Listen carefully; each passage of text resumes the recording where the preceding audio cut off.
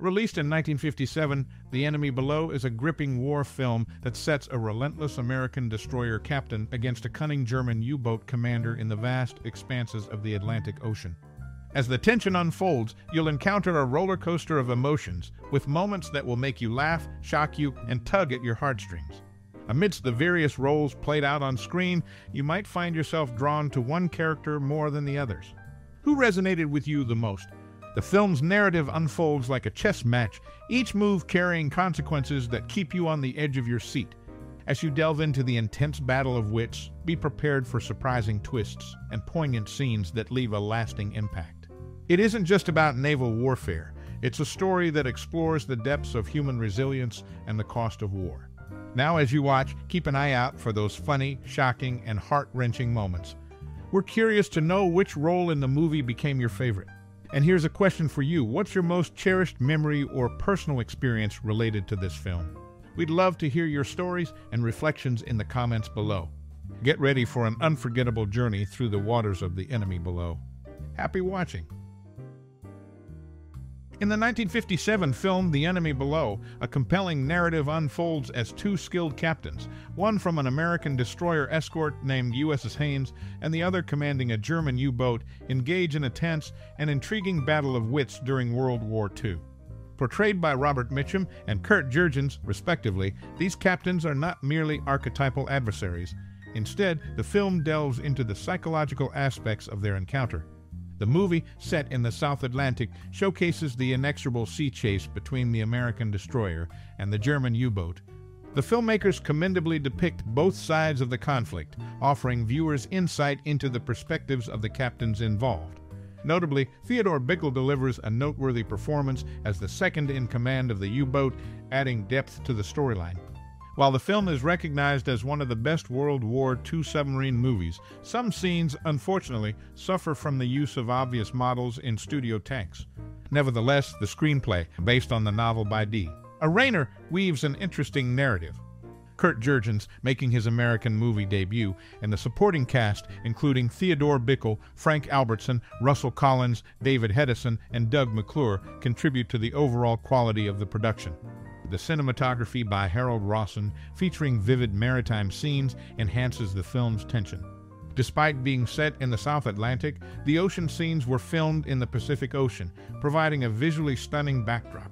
Directed by Dick Powell, a former movie star, the film effectively captures the claustrophobic undersea tension, marking one of Powell's final theatrically released movies before transitioning exclusively to television.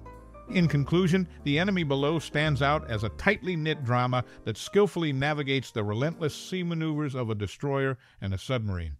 The film's portrayal of the battle's complexity, coupled with strong performances and cinematography, makes it a notable entry in the genre.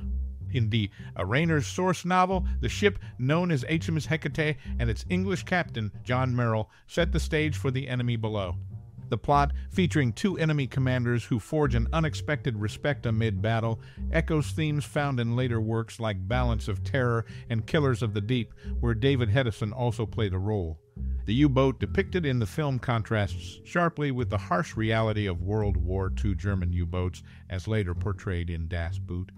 Unlike the cramped and grimy actual U boats, the movie's U boat appears roomier and cleaner. The stark conditions on board, including the challenging use of toilets during depth charges, stand in stark contrast to the sanitized portrayal in the film. Reports from U boat returnees described an unbearable stench, enough to make dockworkers vomit. The Enemy Below provides a unique perspective on naval warfare, presenting an intriguing narrative of respect between adversaries. The film, albeit fictionalized, sheds light on the stark differences between cinematic portrayal and historical reality. Two different endings were filmed for the 1957 movie The Enemy Below. In one version, both commanders meet their demise, while in the other, a third vessel intervenes for their rescue. Preview results dictated the selection of the final ending. The USS Haynes in the film is, in reality, the USS Whitehurst, commanded by Walter R. Smith, who also received credit as a technical advisor and made an appearance as the ship's chief engineer. A photograph featuring Eva Novick portrays her as the wife of von Stolberg. The U-boat in the movie bears the slogan Führer Befehl, wir folgen, translating to leader command, we follow. The concluding rescue scene was filmed off Long Beach, California, and on the USS Alfred E. Cunningham and Allen M. Sumner class destroyer. Additional locations included the Pacific Ocean near Oahu, Hawaii for scenes aboard the USS Whitehurst, doubling as the USS Haynes.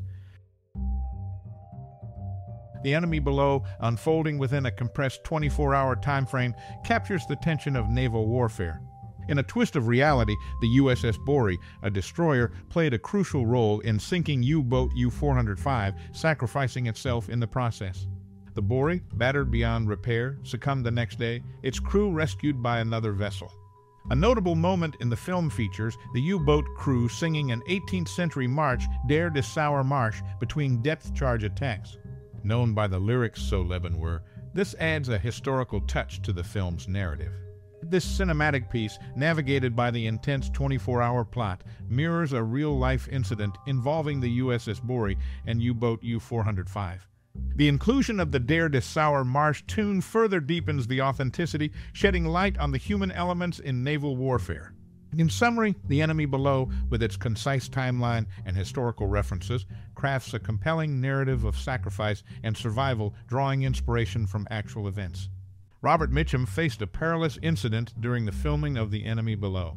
According to Robert Osborne, he fell down a ship's gangway, resulting in severe injuries that required him to wear a back brace throughout the filming.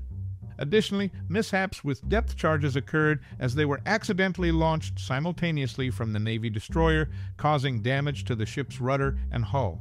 Albert Beck, a former German U-boat submariner, served as a technical consultant for the movie, providing insights into the submarine scenes.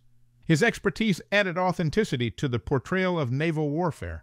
In a 1977 interview with the New York Times, Kurt Jurgens, portraying the German submarine commander Captain von Stolberg, highlighted the significance of the film.